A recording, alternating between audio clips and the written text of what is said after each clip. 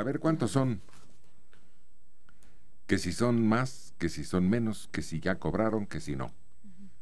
A ver, el Sindicato Mexicano de Electricistas, la lista de los trabajadores liquidados y los que todavía siguen en pie de lucha.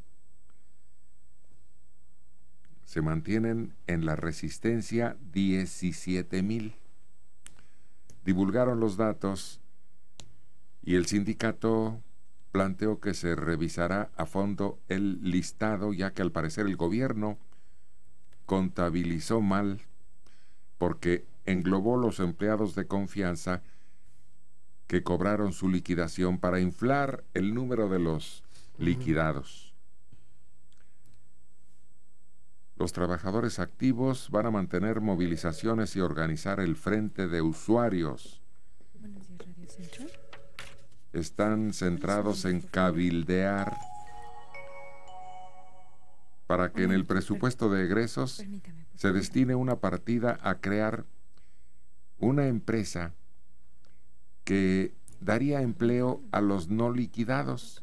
Siguen vivos y siguen peleando y pues los que están agrupados ahí tienen fe. Pero ¿qué haría esa empresa? ¿Administrar el, suministro de luz en las zonas de la antigua eh, entidad de luz y fuerza? Mira, dice que sería mm, empresa Comisión de Electricidad del Centro.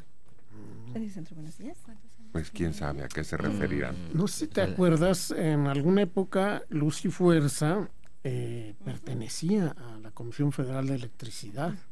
Era eh, el director de la Comisión Federal de Electricidad era el presidente del Consejo de Luz y Fuerza y fue Salinas quien les dio autonomía completa.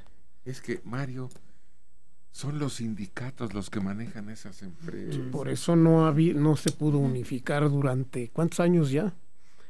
Desde pues de la época de la lucha aquella de Galván y, y, Pérez Ríos. en la época de 73, 74.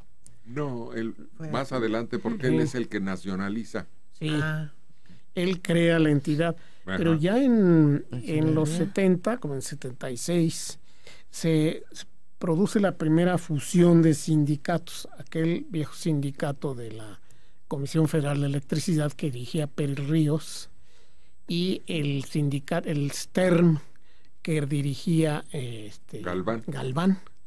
Entonces se unifica y aparece el, el SUTERM, el actual SUTERM.